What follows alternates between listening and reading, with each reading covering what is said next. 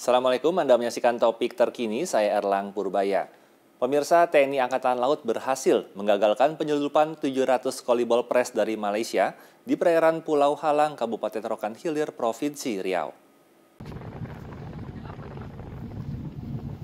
Inilah detik-detik tim WFQR Lanal Dumai mengincar kapal motor Rifki Wijaya GT-34 setelah mendapatkan informasi dari intelijen adanya rencana penyelundupan ball press dari Malaysia. Kapal kemudian diperiksa dan ditemukan muatan 700 koli pakaian bekas seberat 56.000 kg tanpa dilengkapi dokumen yang sah. Kapal langsung diamankan termasuk nahkoda MZ dan 6 anak buah kapal. Dalam Dumai, Kolonel Laut Karya dibangun dalam konferensi persnya di dermaga TNI AL Bangsal Aceh Dumai mengatakan, Hasil pemeriksaan didapat muatan ilegal dari Port Klang, Malaysia akan dibawa ke Bagan Siapi Api.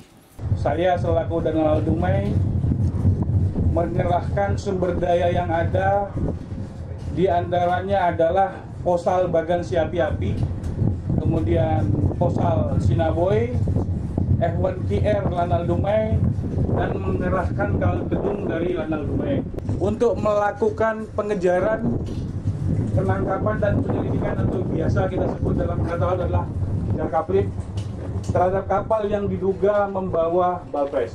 Tim berhasil menemukan dan mengamankan KM Rifki Wijaya dengan GT-34 di perairan Pulau Halang, Kabupaten Rokan Hilir, Riau. Lebih lanjut, Karyadi menegaskan kegiatan penyelundupan Bolpres melanggar Undang-Undang Nomor 17 Tahun 2006 tentang kepabianan Selanjutnya, kapal beserta 700 koli ball press diserahkan ke Bea Cukai Dumai sebagai penyidik pegawai negeri sipil kepabianan untuk proses lebih lanjut. Sebelumnya, Kasat Laksamana TNI Muhammad Ali menekankan seluruh jajaran TNI AL di wilayah perbatasan untuk terus meningkatkan kewaspadaan, merespon cepat dan bersinergi dengan instansi terkait berbagai upaya penyelundupan ball press dari negara tetangga. Pemirsa demikian topik terkini, informasi berita terkini dan menarik lainnya dapat Anda temui pada portal berita kami antv.klik.com. Jangan lupa saksikan program terbaru kami Cakrawala setiap hari pukul 7 pagi hanya di Antv. Saya Lang Purbaya. Wassalamualaikum.